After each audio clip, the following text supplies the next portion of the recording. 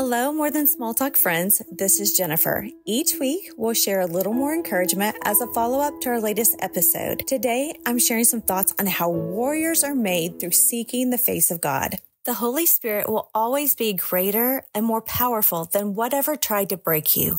Our hope is found in believing that reaching out to God and seeking his face first will result in rewards for us personally that are worth waiting for. And what we are becoming in the process of waiting and reaching out for Christ is worth the effort it takes to keep going. Pressing and reaching leads us closer to our ultimate goal as believers, which is to be closer to God. The Bible shows us how releasing and forgetting those things behind us, all of the things we can't control, all the missteps that make us feel like failures to reach forward to the things ahead is the only success that matters. This is faith and act of brokenness, reaching out towards Christ to receive the wholeness our soul needs. Reaching out will always be part of our process and act of faith. I know for a fact that my breakthrough began with a stubborn belief that by reaching out to God, I would find him. My persistent reaching was the catalyst I needed not only to experience a breakthrough in my life, but to move beyond the stuck places in my heart and the victim mentality we can all be sucked into.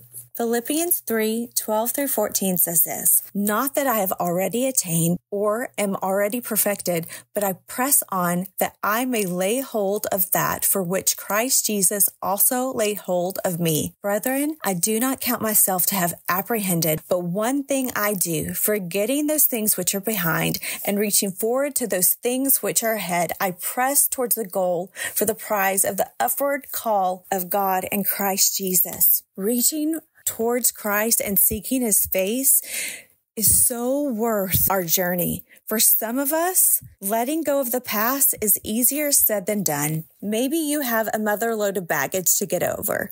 The truth is, we all do. We are all in this together and not alone. But the punk faced devil wants us to isolate and make us believe that for some crazy reason, it's just us, that there is something wrong with us. So we are getting what we deserve. But this is a lie from the fiery pit. It's time to believe the truth in God's word over the lies we find it so much easier to swallow.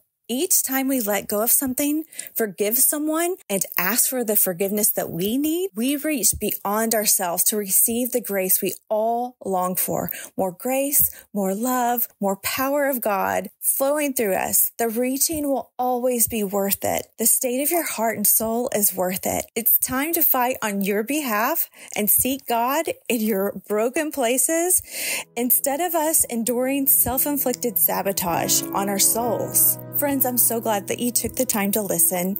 You can find what I read today in my book, Freedom, The Gutsy Pursuit of Breakthrough. Holly, Susie, and I will be back soon.